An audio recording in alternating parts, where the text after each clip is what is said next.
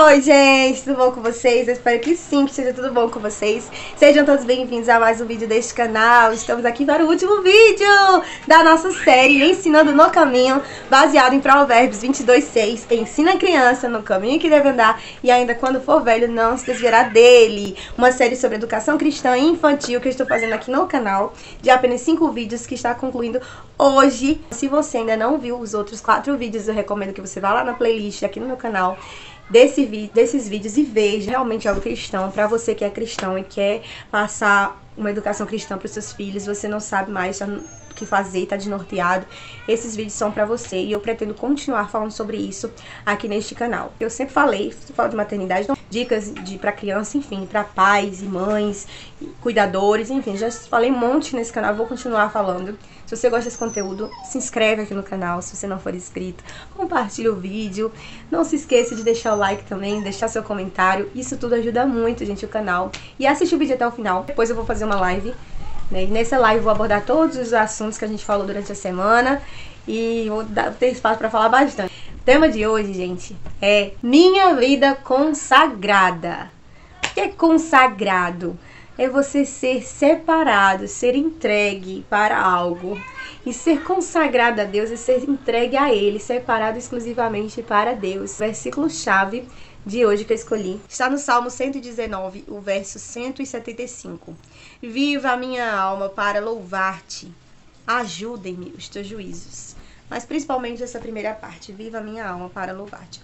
Quando você entrega a sua vida ao Senhor, quando você decide realmente viver para Deus de verdade, com compromisso, seriedade, quando você tem esse toque do Senhor, quando você toma essa decisão na sua vida, você passa a entender que Deus assumiu o controle de tudo na sua vida. Você passa a pegar os seus desejos, sua maneira de viver, o que você acha certo, o que você aprendeu, entrega para o Senhor e deixa que Ele direcione tudo isso. Isso que é verdadeiramente viver uma vida consagrada a Deus. Mas por que, que eu escolhi esse tema para encerrar? Porque todos os outros temas eu venho falando de uma coisa chamada exemplo de vida. Quando é para ensinar para a criança como ler a Bíblia, você precisa ler a Bíblia. Quando é para ensinar para a criança como orar, você precisa orar. Quando é para ensinar para a criança que você precisa louvar, você precisa louvar. Então, tudo tem que ter um exemplo. Mas se você não tem uma vida consagrada a Deus no altar de Deus, você não tem como dar esse exemplo. Não adianta ficar só cobrando da criança. E isso é uma coisa que muitos pais têm feito apenas cobranças, cobranças, cobranças. Eles querem que as crianças sejam instruídas por si só. Eles querem levar as crianças para a igreja, deixar lá na salinha com os professores ou na escola dominical e pronto, e achar que estão fazendo o papel de criar na educação cristã. E achar, ah, eu crio meu filho na igreja, eu crio meu filho na presença do Senhor, porque eu estou levando ele para a igreja. Mas na sua vida mesmo, no dia a dia, não tem um, uma consagração a Deus nas suas atitudes, nas suas palavras, na sua maneira completa de viver, não há uma entrega. A educação cristã, infantil, não é isso. O versículo que deu título à nossa série aqui fala sobre isso, ensina a criança no caminho em que deve andar.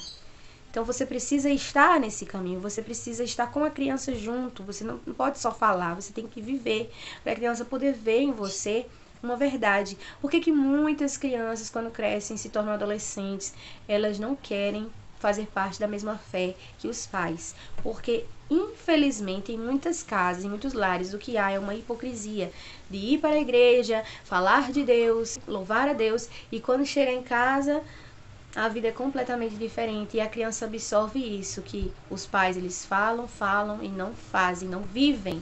Não há esse desejo. Então, é muito triste quando a gente chega diante de um adolescente que foi criado a vida inteira indo para a igreja e ele diz assim: Eu não quero ser crente, não, porque eu já sei como é que funciona a igreja, eu já sei como é que é. E a gente sabe que as igrejas, as instituições cristãs, elas são realmente falhas, são formadas por pessoas.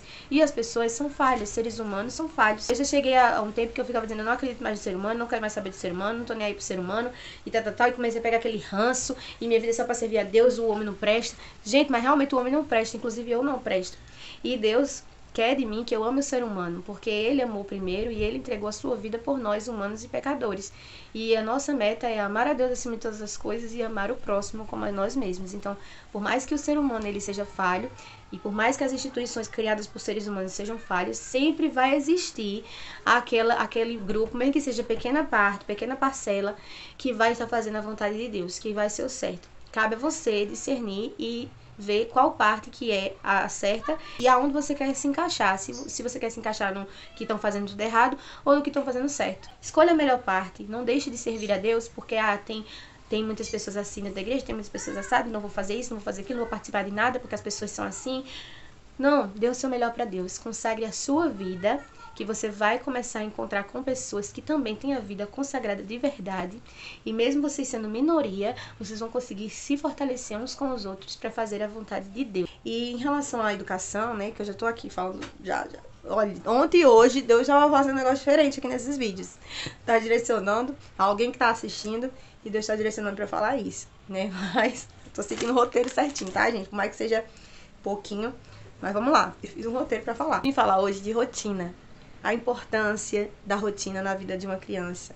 Ela é muito grande, gente. Às vezes nós adultos não gostamos da rotina porque nós achamos chato mesmo. E realmente a rotina é chata. E a gente sente muito aquela vontade de, de inovar, a gente trabalha, né? Se cansa muito. E, enfim, mas para a criança é muito necessário que ela tenha a rotininha de todos os dias. É necessário sim estabelecer uma rotina. E isso vai aproximar a criança de Deus, o que, que tem a ver? Vai sim. Porque quando a criança ela tem uma rotina, ela tem um guia, um direcionamento, ela se torna uma criança mais tranquila e mais aberta para aprender, mais receptiva, ela absorve melhor as coisas, inclusive até na escola, para aprender os conteúdos, para se desenvolver em todos os aspectos. Quando a criança ela é orientada, ela se desenvolve melhor. Criança, ela não, não tem o poder ainda, a capacidade de, de decidir o que ela vai fazer durante o dia, acordar e dizer o que eu vou fazer hoje. Não, ela precisa saber o que ela vai fazer. E isso tem que ser estabelecido por um adulto. Então, criança tem que ter hora para dormir, tem que ter hora para acordar, tem que ter hora para estudar, tem que ter hora para comer, tem que ser ensinada como comer, como se comportar na mesa, ter bons modos, aprender como falar. Isso tudo tem que ser ensinado por você.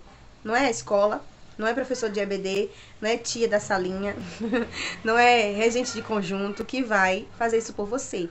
O básico do básico, que é o princípio da rotina de um dia, que é o, o como se comportar, como falar, de pedir desculpa, não bater, não morder, de tratar as pessoas bem, com respeito, de ser solícito, ensinar a criança a não fazer bullying, não rir das outras crianças, incluir aqueles que são diferentes dele, é, ensinar sobre, é porque é muito importante ensinar sobre as pessoas com deficiência. Criança ela, ela fica feliz quando ela vê que na escola, em outro lugar, está falando algo que já é do conhecimento dela, ela já sabe, ela já aprendeu em casa, ela está apenas reforçando na escola, né? Está apenas tendo um guia. E pelo contrário também, se for falado algo nas escolas, alguma coisa que não seja igual ao que os pais falarem, ela vai saber ter esse choque. Ela vai, é, mas a minha mãe falou que era diferente, a minha mãe me ensina diferente. A importância também de você estar sempre é, buscando ver o que, que a escola dos seus filhos está, está passando. Porque tem pai, mãe que nem olha caderno, nem pergunta como foi, não pergunta na escola, não conversa com o professor, não sabe o que está se passando.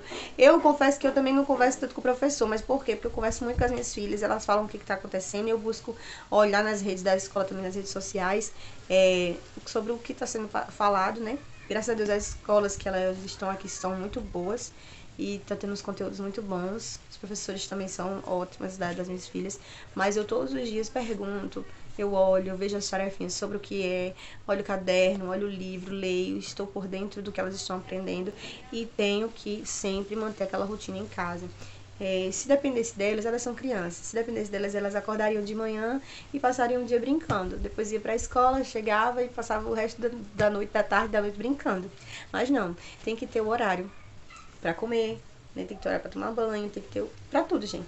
E isso é uma vida consagrada, uma vida com rotina, uma vida com regras, nos ensina a servir a Deus, porque Deus é assim com o seu povo, Deus institui regras, Deus faz assim, Deus nos chama de filhos e Ele nos dá uma rotina pra gente seguir. Ele fala como é que a gente tem que adorar, como é que a gente tem que se comportar, como é que a gente tem que oferecer culto, tá tudo na palavra de Deus. Como que a gente, pra gente falar, o nosso jeito de se vestir, Pra tudo tem instrução aqui, ó, na palavra. Então, se Deus instrui o seu povo, se Deus mostra como ele deseja, é porque há regras. Deus é organizado. Vocês sabiam disso? Ele é organizado. É tanto que Deus poderia fazer assim: faça-se o mundo todo, pluft, e criar numa, numa fala só. Mas não, Deus criou o mundo em seis dias cada coisa no seu tempo, no seu dia separado. Organizou certinho as coisas, cada um no seu diazinho, e ainda sobrou um dia para descansar e fechou ali uma semana de criação para nos ensinar que nós precisamos fazer as coisas assim, com calma, com organização e com visão de, de ordem. Nós precisamos ter a visão de ordem. Né? Nós estamos criando pessoas para a vida, nós estamos criando seres humanos, seres humanos que um dia serão adultos. Às vezes a gente acha que a criança vai ser criança para sempre, parece que esquece, que a gente esquece Parece que a gente esquece que essas crianças vão crescer. A gente, ah, besteira é criança, pode fazer o que quiser, não sei o que. Gente, as pessoas falam assim. E aí quando cresce que não tem regra para nada, que é desnorteado na vida, não consegue tomar uma decisão, fica, sabe, não, não consegue se posicionar, não consegue ser organizado, não consegue, fica um monte de adulto com problema para para ter uma rotina, porque não consegue, porque fica ansioso.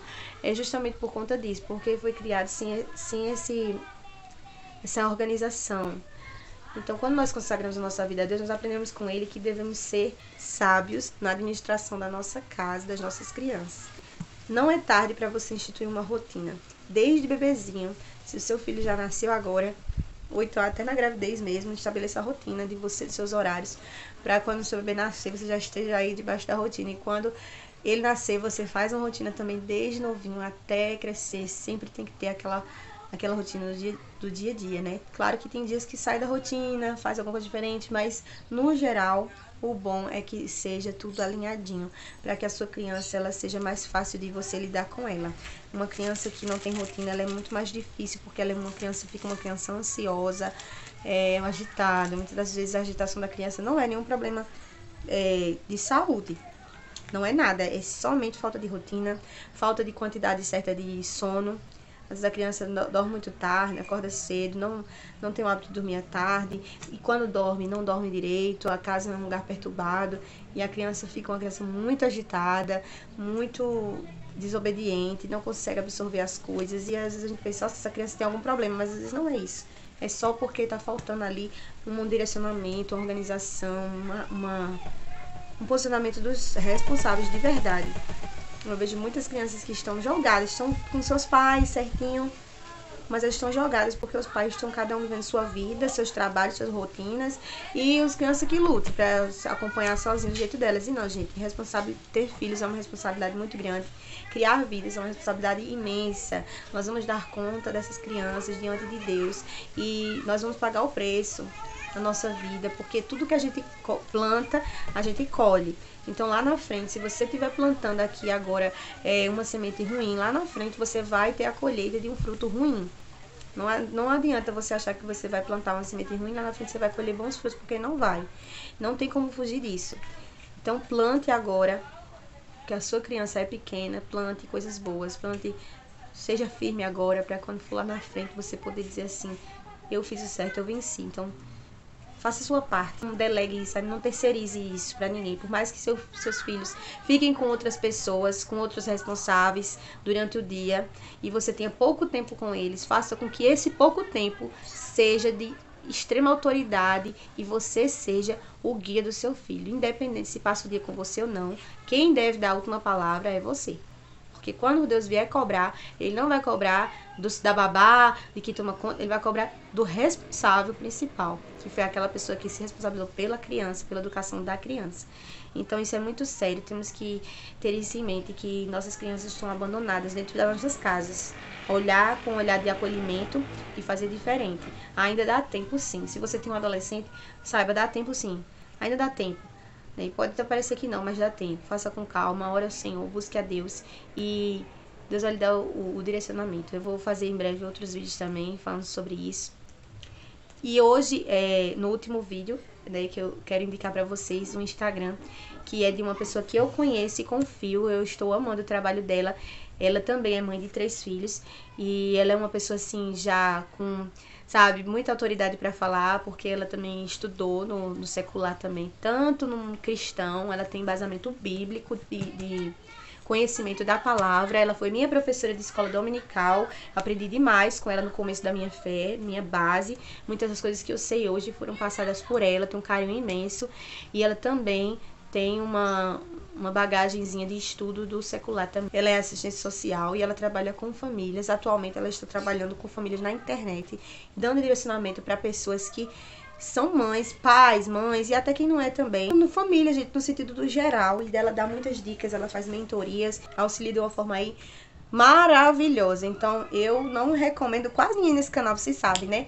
Então eu tô recomendando aqui, não é publi, ela não tá me pagando para isso, ela não falou para eu falar dela, mas estou vindo aqui, vou colocar na descrição e vou colocar aqui no vídeo para vocês um Instagram dela para vocês irem lá seguir, vocês que se interessam por educação cristã, vocês que querem um direcionamento a mais, aqui no meu canal eu falei um pouquinho nessa série, mas aqui eu achei interessante falar sobre isso, indicar um profissional para vocês agora assim no final da série. E na live também vou falar mais um pouquinho, farei uma live, eu vou, vou dizer a data ainda, para vocês, vai dar certo. A gente comenta mais coisas, tá bom? Então, tudo que vocês viram nessa semana, que vocês gostaram, que vocês anotem para vocês falarem comigo na live e eu conto com vocês presentes nessa live, né, minha gente?